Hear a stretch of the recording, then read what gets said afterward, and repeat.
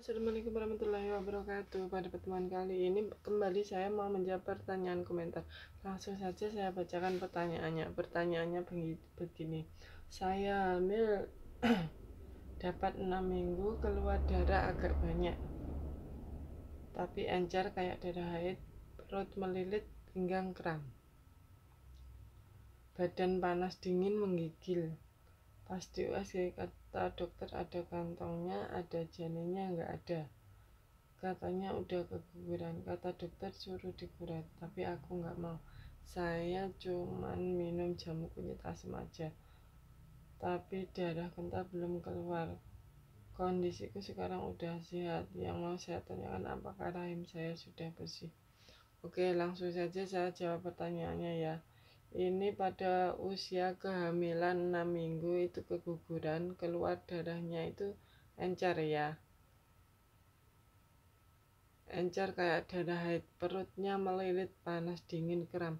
Jika terjadi gejala seperti ini merupakan tanda infeksi ya. Panas dingin itu tanda infeksi. Jadi itu harus ada pengobatan ya. Harus ada pengobatan terus kemudian kantong ada janin tidak ada. Kalau usia 6 minggu itu memang eh, jika ada janinnya itu janinnya masih masih kecil sekali ya. Kemungkinan yang terlihat di USG itu hanya kantongnya saja. Terus tidak kuret. Kalau tidak kuret itu harus meminta obat untuk peluru, peluru atau peluntur ya untuk membersihkan rahim. Jika tidak maka eh, jika masih ada darah-darah, sisa darah ataupun eh, selaput itu tidak baik ya untuk tubuh. Terus kemudian cuman minum minum kunyit asam aja. Nah, ini seharusnya harus ada obat peluruh ya atau pelunturnya terus kemudian darah kental belum keluar. Nah ini eh, seharusnya ada surat darah atau seperti selaput-selaput ya.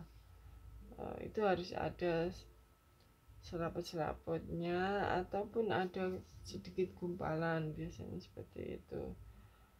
Terus rahimnya udah bersih atau belum? Untuk melihat rahimnya bersih atau belum itu perlu dilakukan pemeriksaan USG ya. Pemeriksaan USG-nya apakah rahimnya sudah bersih atau belum? Jadi untuk melihatnya seperti itu. Terus kemudian dilihat tespeknya bagaimana ya.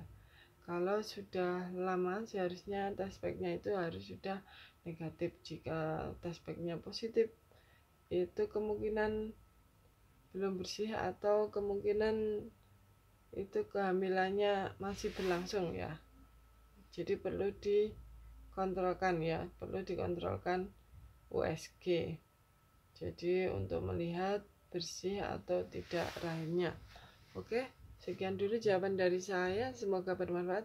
Wassalamualaikum warahmatullahi wabarakatuh. Bye bye